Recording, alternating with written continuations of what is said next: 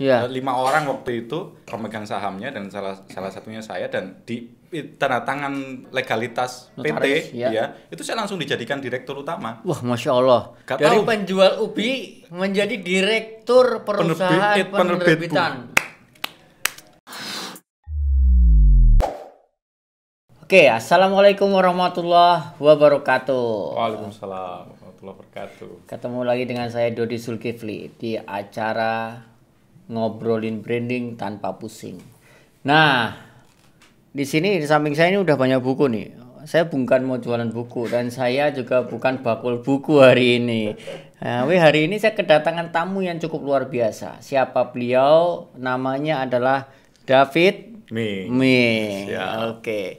Sebelum saya ngebahas siapa beliau, ada yang menarik yang pengen saya tanyakan.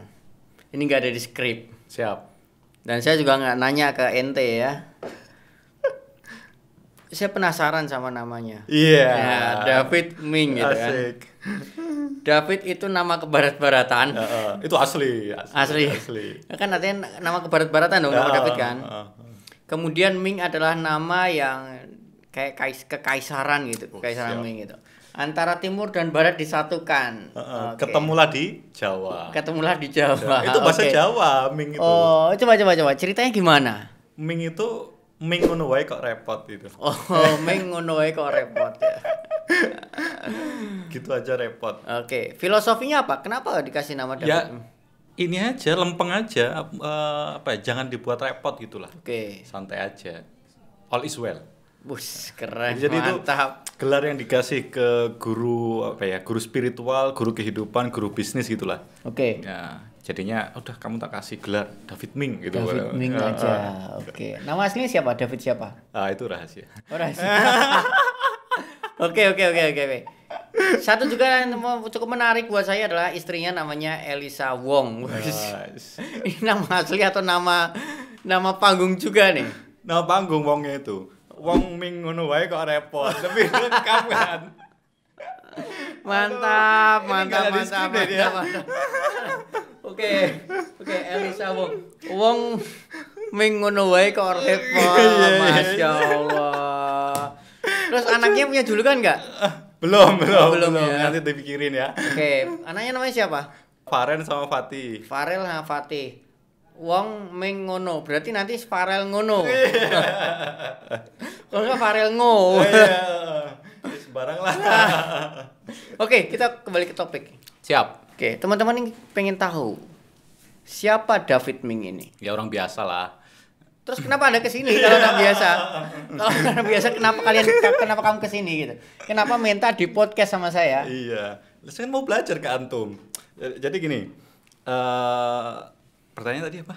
Siapa saya? Iya, siapa David Ming? Nah, siapa ya? Jadi saya aktif di dunia penerbitan buku, Oke. ya kan? Dan kita aktif juga untuk bikin pe- pendampingan pelatihan buku online maupun offline. Hmm. Offline fun writing camp itu pelatihan tiga hari sama pendampingan dua bulan. Oke, Kalau itu untuk melatih orang untuk bisa menulis buku. ya Sampai sampai jadi. sampai Jadi goalnya memang naskahnya jadi.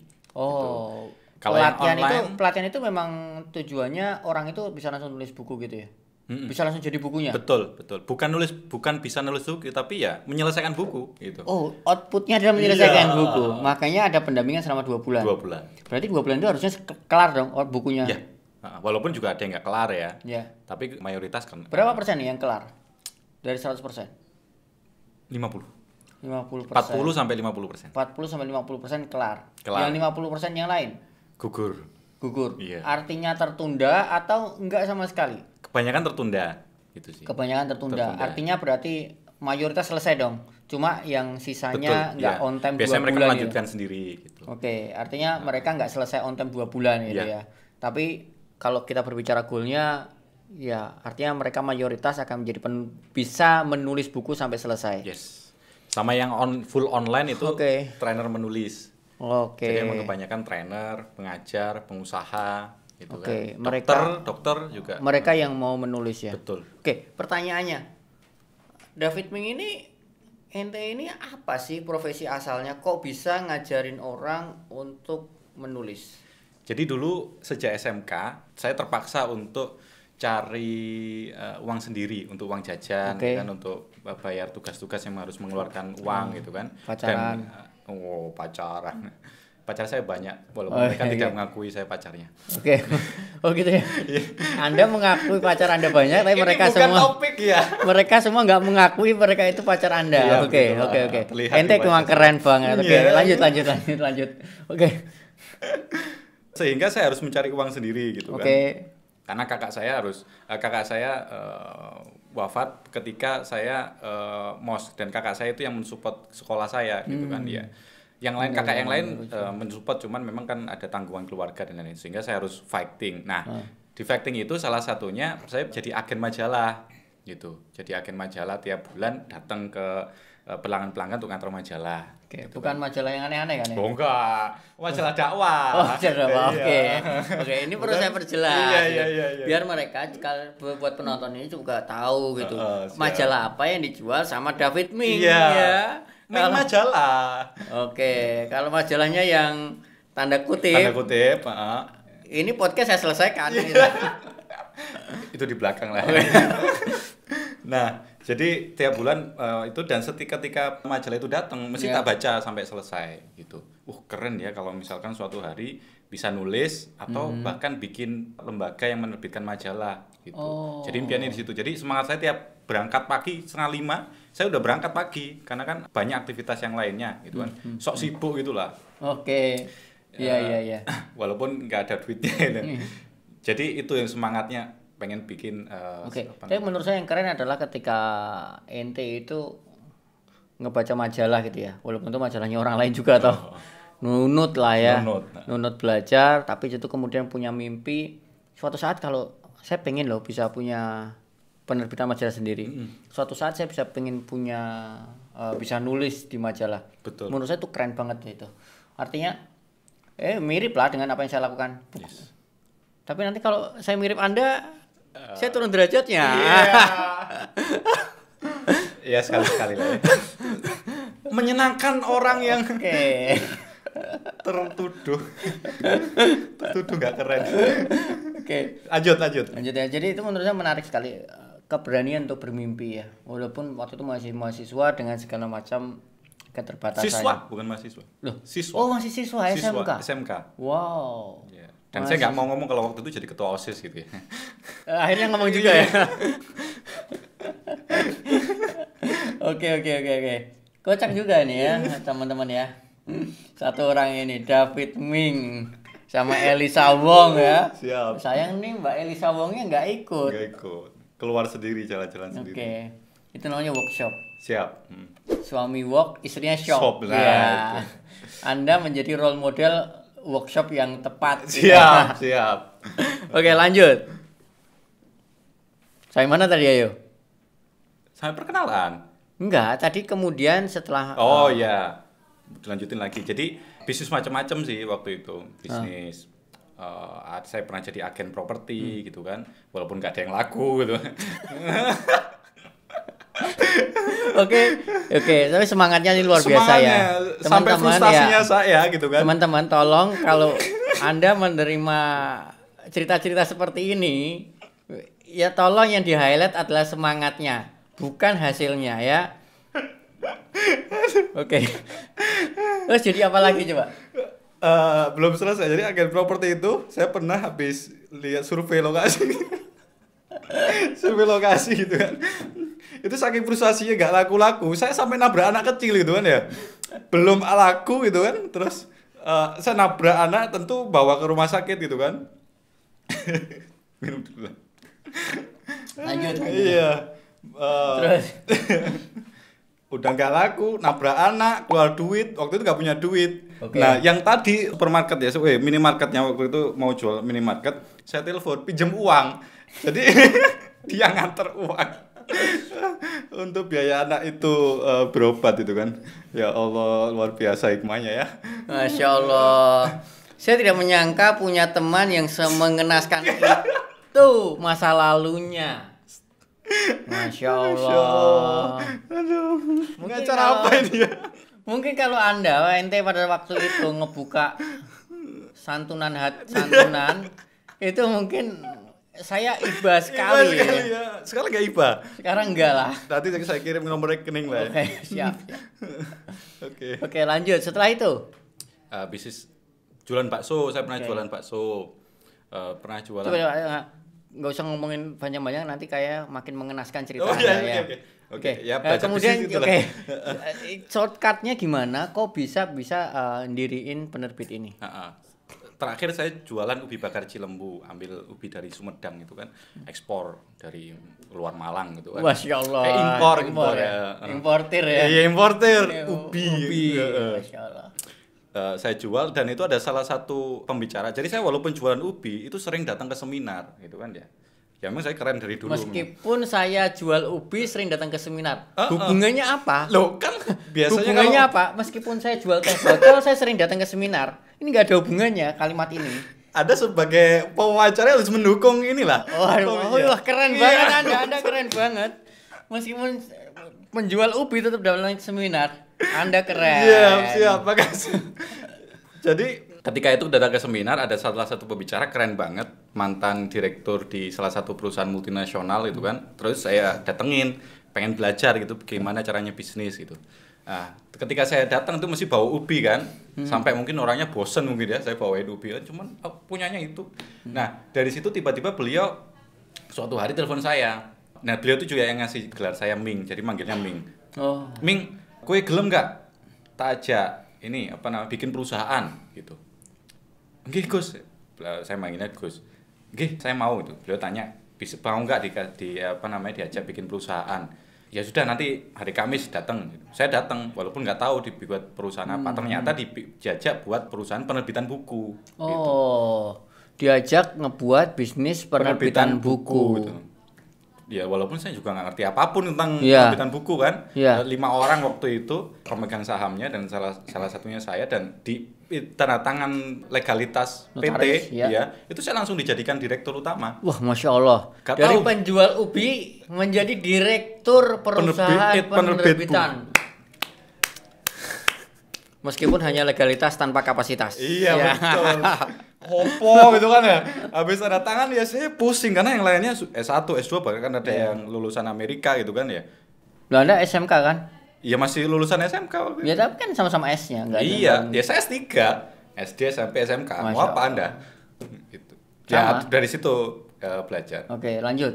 Setelah itu Ya, setelah itu eh, saya belajar dari bawah lah, mulai dari gimana kepenulisan, Hmm. gimana marketing, gimana mengelola perusahaan, gimana ketemu orang gitu kan ya. Hmm, Ada salah satu, satu hal yang unik ketika saya pertama kalinya harus meeting sama salah satu kepala sekolah yang sekolahnya cukup besar. Oke. Ketika di jalan, Harus unik beneran loh ya. iya ya, anggap aja unik. ya. Ah, Oke. Kita udah sepakat tadi kan. Oke. ketika saya berangkat itu saya berharap gitu kan jauh perjalanannya ke Kabupaten Malang saya di Kota Malang kan saya berharap bahwa kepala sekolahnya sedang rapat keluar atau sedang eh, keluar kota sekalian. Loh kenapa? Anda ini aneh. Anda ini aneh. Mau meeting berharap yang mau ditemui nggak ada. ya grogi saya. Pertama kalinya ketemu kepala sekolah gitu kan. Oh. saya mau ngomong apa gitu kan ya. Walaupun sudah ada yang di brief sama teman-teman. Terus begitu nyampe datang ke resepsionis bapak kepala sekolah ada gitu kan sambil deg-degan gitu Ya. kan. Oh sebentar saya eh, lihat kan di ruangannya. Oh semoga nggak ada semoga ada gitu kan. Terus dengan wajah yang berseri-seri iya mas silakan bapak kepala sekolah ada gitu "Hmm, mati kan ya sudah langsung eh, saya menghadap gitu kan ya, walaupun Ya. ketika di menit awal saya banyak eh, diemnya gitu orangnya juga bingung mungkin ini datang kok diem aja ngapain gitu. ya gitu unik gak unik gak Unik sih, Ya, unik. unik. sih. Ah, oke. Ya mungkin it- mungkin kalau dari kalau saya jadi kepala sekolah itu mungkin ini mau minta sumbangan gitu. iya iya Kembali ke makasih lanjut lah ya. Jadi kalau saya sih ngelihat ada, ada beberapa hal yang menarik di sini. Yaitu ketika orang yang tadi mantan direktur perusahaan multinasional itu mengajak ente menjadi salah satu pengelola bisnisnya. Yes. Diajak bisnis bareng. Yang di mana sebetulnya ente nggak punya kapasitas untuk itu pada saat itu ya. betul Tapi kan ente punya kemauan untuk untuk bisa, Yes. untuk mau, untuk Ya, maju dan untuk belajar. tepatnya Itu- 2014 Ya, it- poin intinya kan kemauan untuk belajar. Betul. Tapi yang menurut saya menarik, orang ini kenapa mau mengajak ente yang berbi untuk berbeda? Sampai saat ini saya juga bingung. Ini saya pertanyaannya, dianya yang goblok. Ngajak ente Atau- atau entenya yang kepintaran. Ah itu. Yang mana tepatnya? Ya karena beliau kasihan sama saya gitu kan ya. oh. Uh, tiap hari Oke. menempuh perjalanan 20 km itu kan dengan sepeda Honda Grand itu Anda bisa bayangin dan saya membonceng ibu saya karena ibu saya membantu untuk jualan Masya Allah. dan kanan kiri obrok gitu ya, Ya, Anda tahu obrok itu oh Anda jenengan ya Eh, itu bawa ubi 50 kilo met eh, kilo 50 kilo ya kan ya sama di atasnya ibu saya gitu jadi mungkin itu beliau ibah kasihan gitu Oke. kan. Tapi setidaknya Tapi menurut saya ada ada, pinter ada satu hal yang gitu, menurut tampan saya gitu kan ya cukup menarik sebetulnya. Mm-mm. Artinya di luar sana itu sebetulnya banyak orang yang membutuhkan orang-orang yang bisa dipercaya. Yes. Anak muda itu butuh kesempatan. Ya. Yang senior-senior itu mereka mungkin punya uang, Yes. tapi mereka sebetulnya mereka juga punya koneksi mengakses orang-orang pintar. Tapi belum tentu mereka bisa menemukan orang yang bisa dipercaya. Yes. Walaupun Seperti saya juga belum tentu ente. dipercaya, bisa dipercaya ya waktu itu kan. Katanya minta dibangun Oh reputasinya. iya iya oke oke oke siap siap siap. Ya, anda Ya, saya menghina, bisa dipercaya. Anda Oke. menghina diri Anda sendiri. Iya, iya. Itu namanya swahina. Hmm, siap, siap, siap. Sudah tiga kosong loh ini. Karena di acara Anda saya nggak berani ngomong lah. Ini udah berapa menit ya?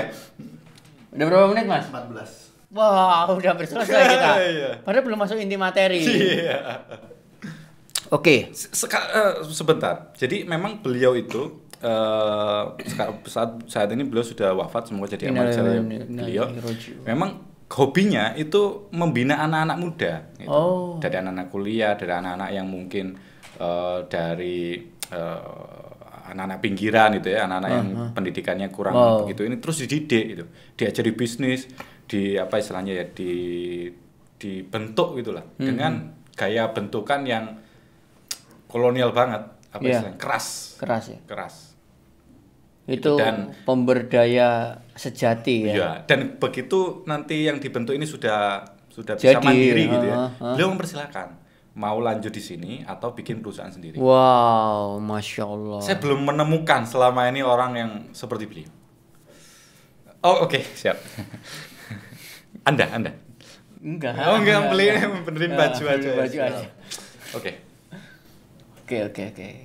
Masya Allah. Masya Allah. Oke, ini buku-buku yang depan sini, ini karya dari penerbit Litera. Litera ya. Iya. Litera adalah bisnisnya ente. Iya, jadi sejak Bisnisnya 2016, David Ming. ya, sejak 2016. Oh, terus ente jadinya gimana tuh tahun 2014 keluar bikin bisnis sendiri eh, atau 2014 kan mulai Oh, mulai di- kemudian di- di- itu kan eh, bahkan kemudian kan project ditawari kan. kita project pertama kita itu eh, kurang lebih 30 ribu namanya apa eksemplar tuh?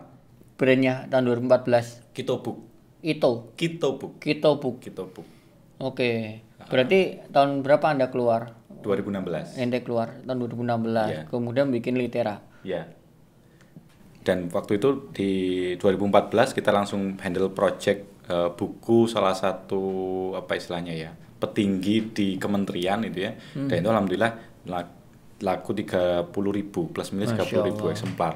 Nah, ditambah dengan iklan-iklannya karena saya pernah di majalah gitu ya. Jadi pengalaman itu oh biasanya ada majalah ini gimana kalau buku dikasih iklan? Gitu. Dan ternyata Laku juga. laku juga. Dapat sekali cetak. Itu waktu itu beberapa kali cetak. Satu kali cetak itu dapat iklan ratusan juta udah. Masya Allah. ya dari orang penjual ubi itu kan terus pegang duit ratusan juta itu gimana? Ya enggak gimana-gimana, biasa aja gitu. iya sih biasa aja mau mendukung gitu Oh ya, Masya Allah, Masya Allah, Ya, keren banget. ya biasalah gitulah saya Masya Allah. Biasa, biasa aja, biasa aja. Masya Allah. Biasa Saya aja. dengar, Ya Allah, keren. acara apa ya Keren banget. Oke, itulah kisahnya David Ming yang dari bukan siapa-siapa menjadi penerbit buku. ya walaupun sekarang juga bukan siapa-siapa sih dibandingkan dengan Dodi Zulkifli Ini mental diangkat, reputasinya dijatuhkan, disuahi. Kenapa sih? Ya, Memang memang ditakdirkan kita selalu bermusuhan gitu kan Oh gitu ya. Iya, sejak di kelas dulu kan kita selalu Oh iya bermusuhan iya iya iya iya. Iya. Oke. Eh gitu teman-teman. Ini nanti next episode kita akan ngebahas kenapa pengusaha membutuhkan buku. Apakah untuk personal branding gitu ya? Gimana sih cara membangun personal branding melalui sebuah buku? Meskipun saya juga belum punya buku hari ini. Dan itu tak salah satu target saya. Wow. Kita sambung besok Siap. di episode berikutnya. Siap. Oke.